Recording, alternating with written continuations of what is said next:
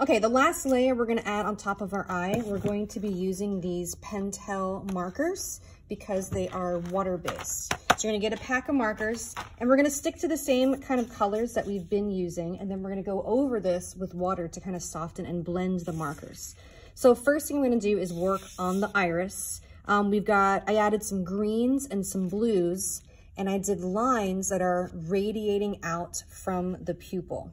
So I'm gonna start with a light green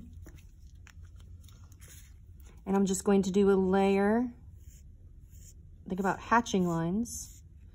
If you want it to get lighter, maybe around that highlight, you could do the broken lines or the dashes, kind of in some areas if you wanted to add some variety. You could also add some broken lines or dashes. It's the same thing. When it's just a fancy way of saying it. Maybe around that highlight, do broken lines. Okay, now I'm gonna go back with a darker green and wherever I want it to be darker, I'm gonna add some more hatching lines or more lines. So the eyelid typically will cast a shadow and make it darker on the top of the iris. Oh gosh, my lines aren't really going in the correct direction. And then kind of every once in a while, add some of this. Even if you're doing brown eyes, you can start with light brown, add some layers of dark brown. And then around the iris, even if you have brown eyes, the outside rim is typically darker. So I'm gonna start adding some blues and I'm gonna go around the outside edge of the iris, kind of darken it up a bit, especially under here. Then I can also add another layer of blue where I want it to be darker.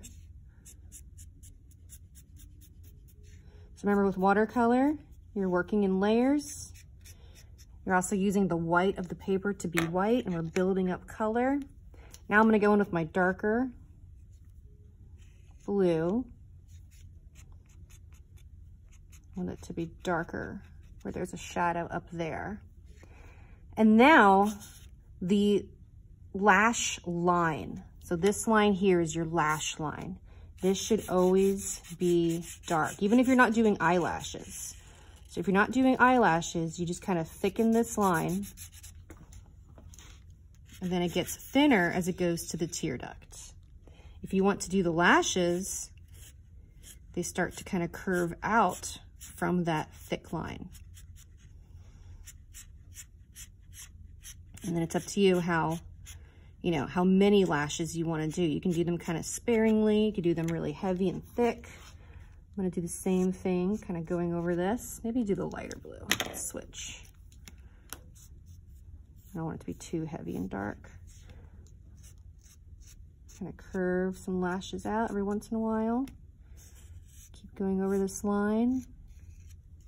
All right, now your eyelid line is a crease. So you should kind of go over that line that you have there.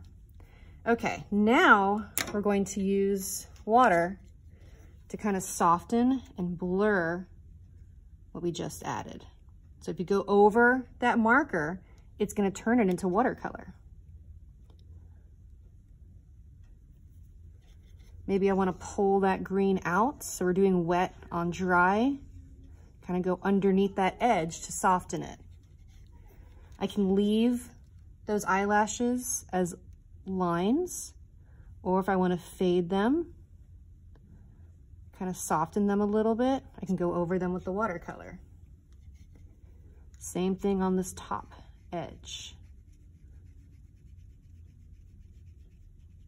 Now, if I start putting water in the white of the eye, that, that color, that dark color is gonna start to bleed in. So I have to be really careful there. Now, if you do get watercolor in an area you don't want it, you have your paper towel and you lift.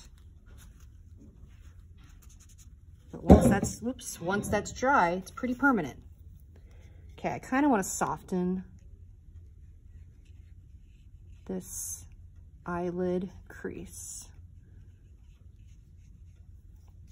And then, whoops, kind of fade this out so it's not just a harsh edge there.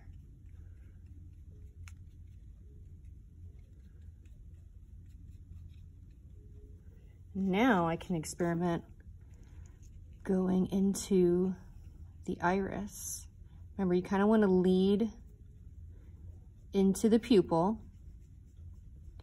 You want to leave your highlights.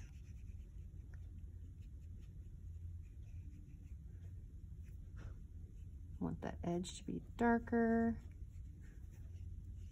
And then, you know, if I'm not happy with this, I can always go back on top with another layer.